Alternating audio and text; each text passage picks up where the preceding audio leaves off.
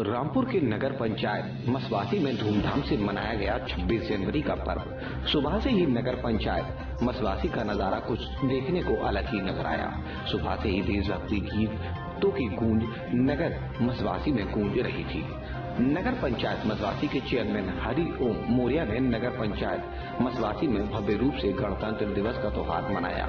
वे देश के संविधान कैसे बना और कैसे हमारे देश में लागू हुआ, क्षेत्रवासियों को बताया। साथ ही उन्होंने सरकार द्वारा चलाई जा रही योजनाओं का भी गुणगान किया और लोगों को भरोसा दिलाया कि नगर पंचायत, मसवासी को एक आदर्श ग्राम पंचायत बनवाने में बहुत मेहनत की है। इसके साथ ही नगर पंचायत, मसवासी में गरीब परिवारों को कंबल भी बांटे गए।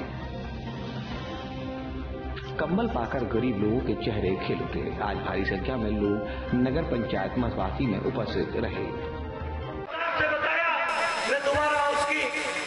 उसके बारे में आपने विस्तार से सुन लिया है। साथियों, आज 26 जनवरी के उपलक्ष्य में मैं इस देश के यशस्वी प्रधानमंत्री माननीय नरेंद्र मोदी जी और से प्रदेश के यशस्वी मुख्यमंत्री योगी आदित्यनाथ जी जिन्होंने इस देश की तमाम समस्या को देखते हुए तमाम योजना चलाने का काम किया उस योजना का लाभ मेरी आदर्श नगर पंचायत माननीय योगी जी से हमने निवेदन किया। उन्होंने इस मसवासी को आदर्श नगर पंचायत घोषित करने का काम किया।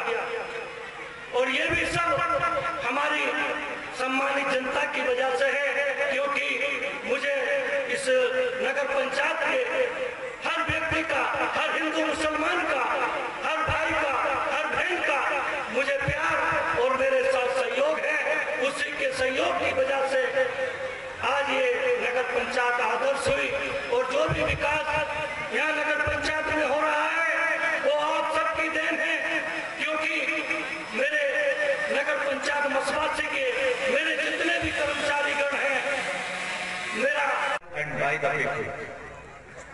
जन, गणतंत्र या लोकतंत्र, जनता का, जनता के द्वारा और जनता के लिए चुनी हुई सरकार होती है, जो जनता के हित में कार्य करती है 15 अगस्त उन्नीस को जब हमारा देश आज़ाद हो गया, उस समय यह ज़रूरत महसूस की गई कि हमारे देश का एक अपना संविधान हो संविधान का मतलब हमारे अपने नियम कानून हो, जैसे हम अपने घर में नियम कानून बनाते हैं और उसके हिसाब से चलते हैं।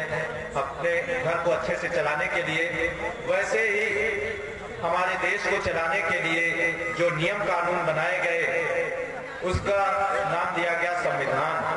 और संविधान बनाने में Pandit Jawaharlal Nehru, Sardar Vallabh Bhai Patel, doctor Rajendra Prasad, doctor B R Ambedkar S N Mukherjee B N Rao इन सभी का बड़ा योगदान रहा।